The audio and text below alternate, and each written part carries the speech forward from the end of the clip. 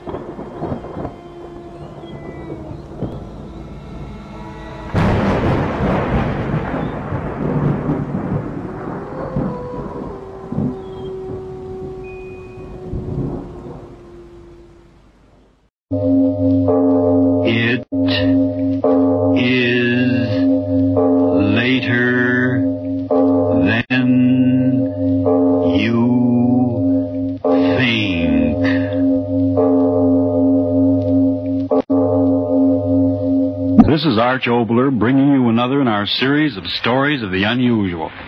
And once again, we caution you these lights out stories are definitely not for the timid soul. So we tell you calmly and very sincerely if you frighten easily, turn off your radio now.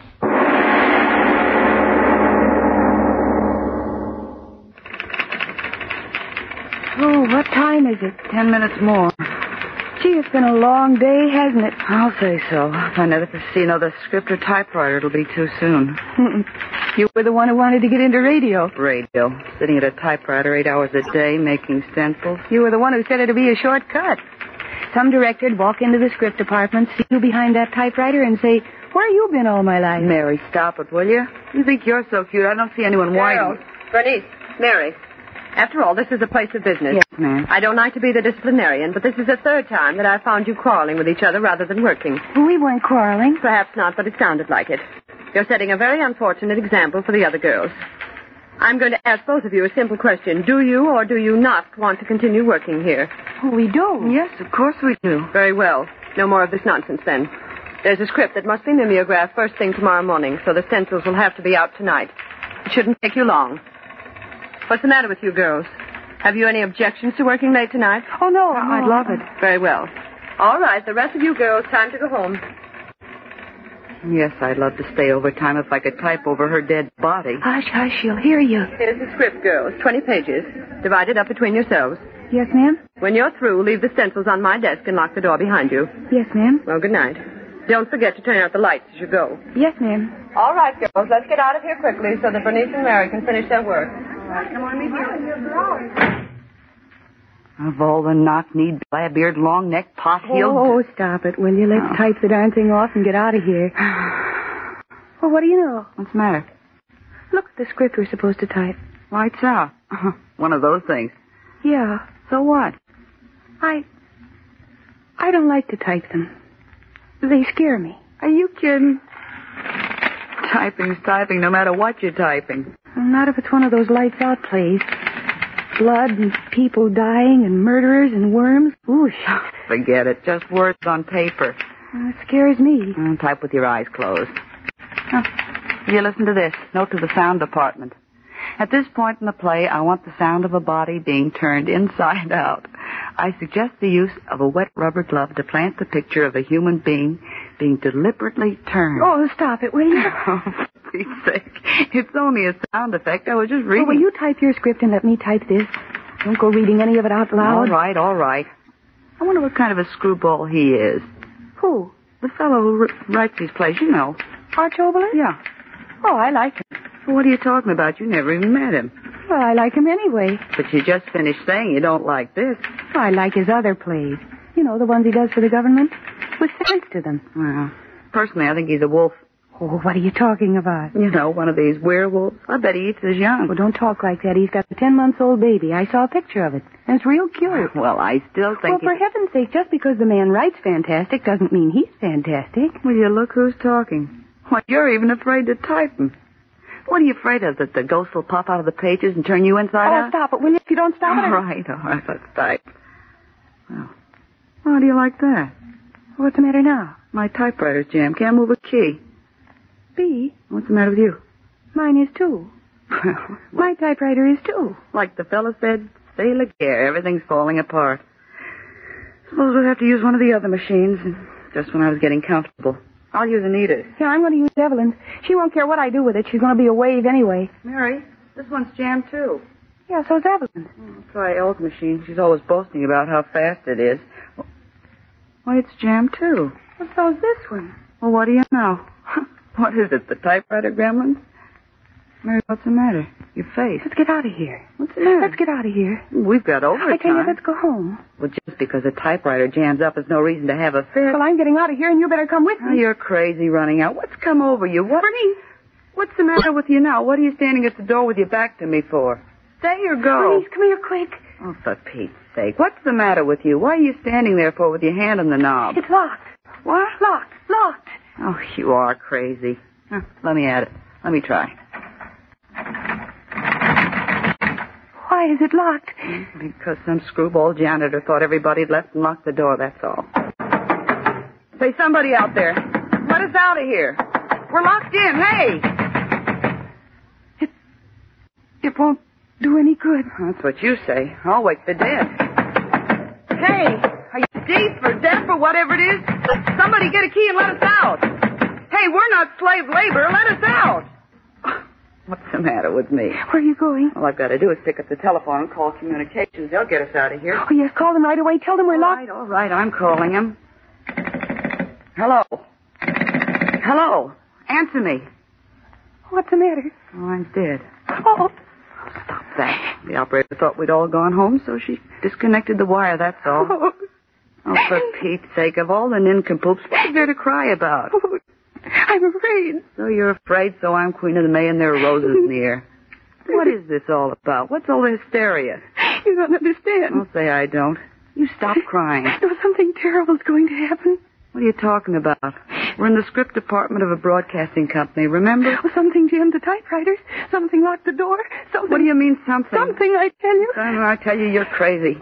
I think I've known you all these weeks and never knew you had bap in your belfry. There's absolutely nothing that's happened. Why did you stop talking? Answer me. The Telephone cord. Oh, The end, it's torn off. yes. But I, I talked on this telephone only an hour ago, remember? Yes. I could have gotten torn loose? I told you. Oh, shut up. All right, maybe there is something screwy, I don't know. But I do know there's nothing to get hysterical about. This place only had windows I could call out. On modernistic air conditioning. Will you stop moaning? Well, you're scared too. I'm not, I'm not, I'm not. Series of coincidences, that's all. What could it be? Anthony, what? Who ever heard of anything happening in a place like this? Oh, what are you looking at me like that for? This is no haunted house. You and me and a lot of other girls work here, remember? So if we're locked in and have to stay here all night, so what? The door's locked from the outside. The watchman downstairs, remember? So who could get in here to hurt us? What if the locked door won't do any good? What? You heard me. Oh, you're crazy kid. Look, desks and chairs, fluorescent light, modern design, remember? We're not in a haunted house. Get that through your head. We're not in a haunted house. Oh, Well, what's the matter now? Get all through explaining. What's the matter? something happened. Happened? Something in the air. What are you... Oh, for heaven's Over there at the end of the room. The light must have burned out. Oh, Oh, I was right. Goes to show you how crazy you've been. A couple of natural things happen and you start acting out a ghost story. You should join the Actors Union. Bernice. Well, one of the lights burned out. So what? There's one thing the script department's got plenty of light. Mary, why are you... Another light. I saw it go out. You're dreaming. I tell you, I saw it go out. You're crazy. It didn't. I saw it. Now look here. There are two, four, six, eight, eight lights in this place. See? One, two, three, four, five, six, seven, eight. Now don't give me any more of that lights out. Another. Another. You're absolutely crazy. I, I'm scared just staying here with you. Count them. Why should I? Count them. One, two, three, four, five, six, seven. Not eight. Seven. Gee. I told you. Oh, no. What? Another one out. One, two, three, four, five, six. Oh. Stop it. Stop it. Another one there. Gosh. Over next to Miss Winton's desk. Another one. What? Only four left. Only four. What'll we do? Only four. Who's putting them out? I don't know. I don't. Another. Oh. Only three more. If they go out, I'll die. They won't go out. They can't go out. The switch. That's it. I'll hold the switch. I won't turn off the lights if I hold the switch. It's all right, Mary. See? I got hold of the switch. Nothing Another could... one. Another one. But I was holding onto the switch. Two lights. Two lights in the dark. Bernice. Oh, Bernice, hold me. I'm scared. Oh, gee, I'm scared. all right. It's all right. There's still two lights. See? Two lights. They'll stay on. They will. I know they will. They're both out. We're in the dark. Bernice, where are you? Let me out of here. I'm afraid of the dark. Let me out of here.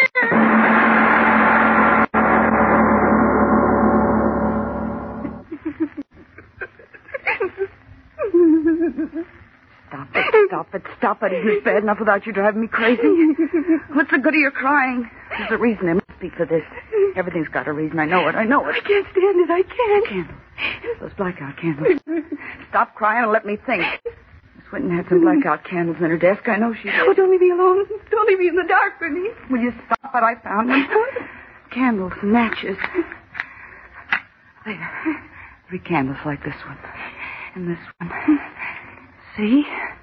Plenty of light now. Oh, who's there? Nobody. Nobody. There's a reason for everything, I tell you. I know what it is. What? The electricians, that's it. The electricians didn't know we were up here, and they were testing the lights. They'll go on any minute. Wait and see. You think so? Of course. Look, what'd I tell you? there they go on again. Up at the ceiling. Oh, it's- oh no. Green. Light now is green. Green.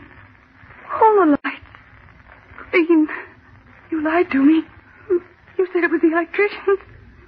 Look at the light. It's green. It makes your face look green. You look dead. You hear me? Dead. You'll be dead and I'll be dead. We'll be dead. Dead, dead. Stop it. Stop it. You're not going to drive me crazy. Just because there's something wrong with the electricity. You look around. Everything's all right. Nothing's wrong here. Nothing. Is that typing? I heard typing. So did I Typing. we just must have imagined. Typewriters. Look at the typewriters. Typing. And there's no one. Who's typing? Who's typing?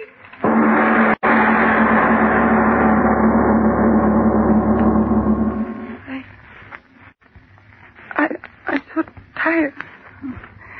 Me too. I wonder if it's day. I don't know. I don't think so. Sooner or later, someone will come along. It'll be too late. Don't say that. Things happened these last hours, has it? Nothing. It will. When I get out of here, I never want to talk to you as long as I live. As long as you live. Stop talking like that, or do I have Oh, don't hurt me. I'm not hurting you. No one's going to hurt you. Or me. Trick. It's some kind of a trick. The typewriters. Electric ones, aren't they? Power. Something. It's got to be a trick. You don't believe it, do you? Believe what? There's something in this room with us. Where? I don't know. But it's here. What are you trying to do? Make me scared as you are scared? There's something in this room. Where? Answer me where? Just you and me, that's all. You're not going to scare me. I'm not going to let myself get scared anymore. I want to get out of here, and I'm going to get out of here. My head's done. Yes. I heard it too. What? Something. Desk. Look. The desk moving. Look. That one moved. And that one. Mary, take your hands away from your eyes and look. Look, the desk. All of them moving. Mary, look. All the desk was moving and was moving. Stay back, you. Stay back. Mary. Mary, all the desks in the room. They're moving down toward us.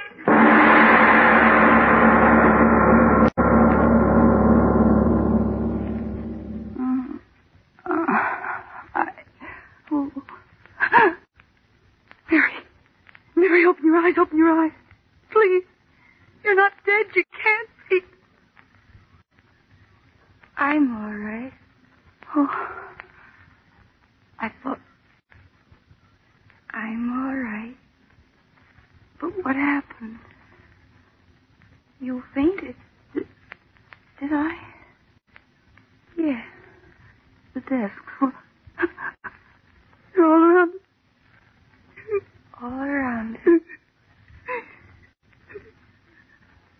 All one You're scared now, aren't you? Right. I am. I am. I'm not. Not scared. You? No. It's very nice. Oh, what's very nice? You know. What? I don't know what you're talking about. You know. I don't know. Tell me. So warm. What's warm? The sun. So warm. Sitting in the sun. What? Nice when the sun is warm, isn't it? I always wanted to sit in the sun. Oh, no. You can sit in the sun if you want to, Bernice. It's all right. Mary. Mary. You don't have to shout. We'll go home soon. Soon as the sun goes down. We'll go home. Oh, Mary. I was scared before. Wonderful the way it is now. Out here in the sun. There's no reason to be scared when you're sitting in the sun. Oh, Mary, I'd rather you'd be afraid. Do you hear me? I'd rather you'd be afraid. No. The sun. There is no sun. We're right here where we were in the office. And the light is still green and the desks are moved all in around us. And we can't get out. Mary, be scared. Please stop looking at me the way you are and be scared. You say we're not sitting in the sun? No, no. You must be crazy, Bernice. Because we are sitting in the sun. Are you crazy, Bernice? All right. If that's what you want. We are sitting in the sun, dear. I knew it. I used to be so scared. Now I'm all right. You were right before. When you said there was someone in the room. There is. I can't see anyone. But there is someone. The sun is so nice. First the typewriters. And then the lights. And then the moving desk. And now waiting. Who's waiting? It's waiting. Will we go home soon? Yes, When? soon. I think very soon. I was very scared. Yes. When you get scared enough, you can't get scared anymore. Mm, the sun is very nice. I think I'm getting that scared now myself. You hear something? What? Something? There's nothing, nothing. No, there is something. I told you. Listen to me. Who's here with us? Who? Answer me. What do you want of us? Please answer me. What do you want of us?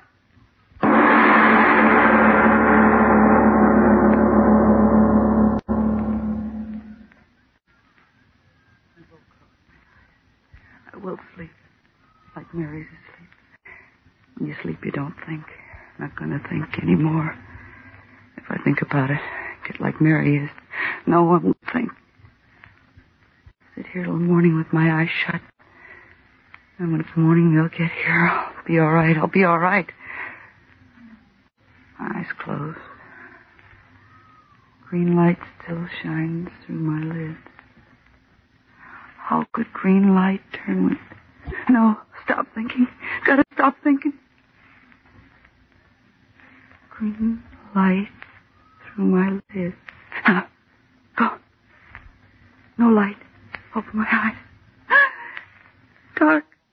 The lights are gone. Dark again. Mary. Mary, wake up. Mary's the light. Please wake up.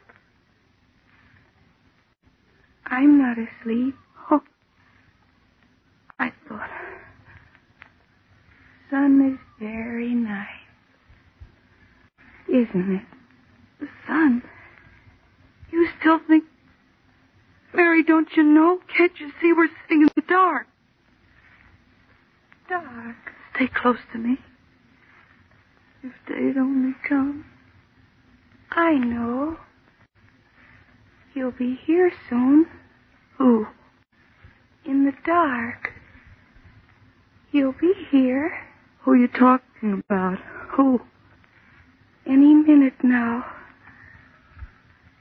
Do you hear him? Here? I think he's coming now. Yes. He is. No, please, no. You're right. It is dark. Very dark. His kind of dark. Stop talking like that. You can stop him. No one can stop him. What's the use of being afraid? If someone had only come. I've been telling you. Someone is coming. Right now. And he's sitting on the desk looking at it. I'm glad he's here. He'll make my head stop hurting. He'll take me home. The floor. It's lifting. Yes. I feel it. The room. It's turning. Stop it. Stop turning the room. Let me out of here. Let me out of here.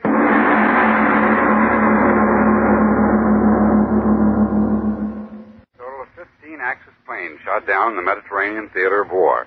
So much for the war news. Now the news of local interest to you early morning listeners. If you've been wondering why those dishes in the kitchen started to dance last night, the answer is an earth trembler, earthquake to you, of five seconds duration. The material damage was very slight, but two deaths are indirectly attributed to the earthquake. Bernice Saxton and Mirabelle Pressler, employed by the broadcasting company, were found dead this morning in the script department where they'd been doing overtime work. Cause of the death is believed to have been heart failure induced by fright. The girls had been accidentally locked in the office, and when there was a failure of electric power followed by earthquake, it is believed the young women were frightened to death. This concludes our morning broadcast.